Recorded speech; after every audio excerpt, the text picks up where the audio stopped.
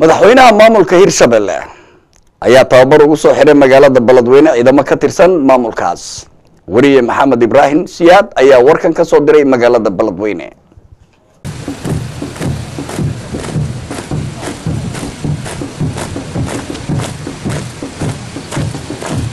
madaxweynaha maamul goboleedka hirshabelle cali cabdilaahi cusuble gudoomiyaha gobolka hiiraan iyo saraakiil ka tirsan ciidanka maamulka hirshabelle ayaa maanta kaga qayb galay magaalada beledweyne munaasabad tababar loogu soo xiraya ciidamadii ugu horeeyay oo loo tababaray maamulka hirshabelle taa oo maanta ka dhacday xerada gaaska shanaad ee lamagalay ciidanka tababarka loo soo xiray ayaa ku dhowaa boqol askari kuwaasi oo ka mid noqonaya ciidanka nabad sugidda ee hirshabelle taliyaha qaybta booliska ee ciidanka gobolka hiiraan korneel isaaq cali cabdulle iyo gudoomiyaha maamulka gobolka hiiraan cali jayti cismaan ayaa madaxweynaha hirshabelle warbixin ka siiyey.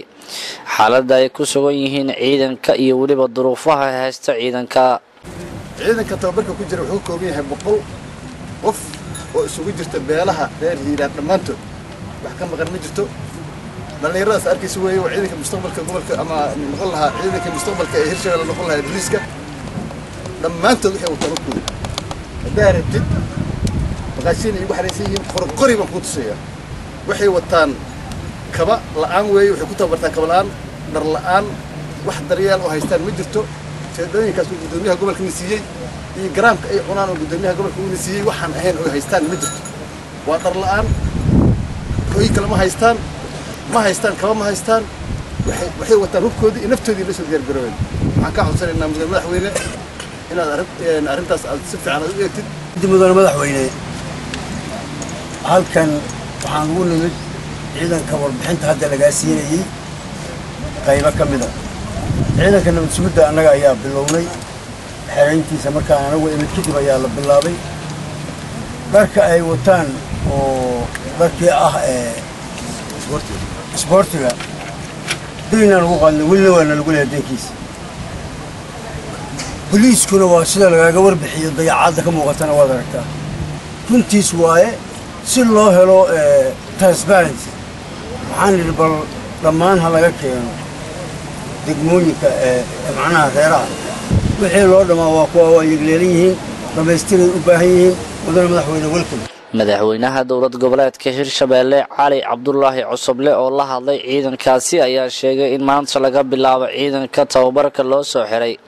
Ay ka mid noqonayaan ciidanka maamulka hirshabelle islamarkaana ay ku dadaali doonaan sidii ay xuquuqaadkooda u heli lahaayeen ciidanka. Inaan idinkala soo qayb oo aan arko ciidamada kala duwan waa halkan ku sugan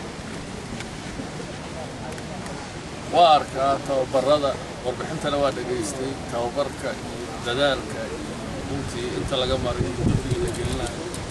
Sidoo kale waa arkaa ma waa dhegaystay warbixinta ku saabsan xaaladaha iyo duruufaha ka jira ciidamada haysta. Waxaan rabaa inaan idiin sheego maanta ka bilaabata waxaad tihiin ciidanka hirshabelle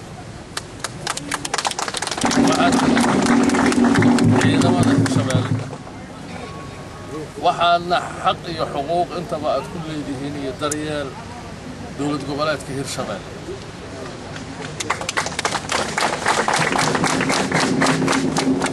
hase ahaatee waxaan rabaa inaan idiin sheego dowlad goboleedka hirshabelle iyaduna waa cusub tahay oo hadday dhalatay taasu dhinac marka laga fiiriyo qiil u noqon mayso in xuquuqdiinna inaad weysaan dhinaca kalena dowlad goboleed hadda dhalatay birita subaxii in laga helo saacadda xigta in laga hela muxuu ahaa wixii xuquuq ahaa loo baahnaana ayaduna inay muxuu ahaa culayskeeda lahaanaysa waa dareemi kartaa marka naxariista ayaa laydinkaga baahan yahay daryeelka ummaddaa laydinkaga baahan yahay.